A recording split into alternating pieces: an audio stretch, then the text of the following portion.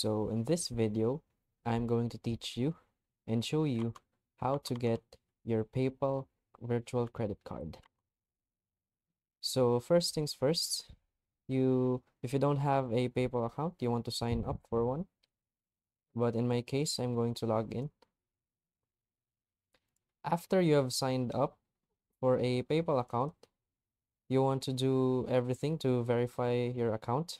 There will be steps in this site or in this page to verify your account.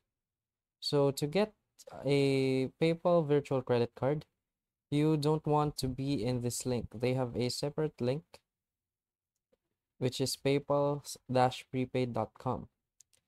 In this website, you can order a PayPal debit or credit card or a PayPal prepaid MasterCard. So you want to click order your card. Now it will take us to an external link and here you will be required to enter your information. You want to fill this up. Also, this, you will be needed to fill this up. The good thing about this is you can also choose the color of your card, which is cool.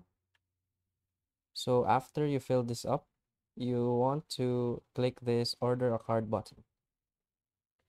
So after that, when you receive your card, you want to click this button, activate your card account here. So that's how simple and easy it is. If you find this video helpful, please hit like and subscribe. Thanks.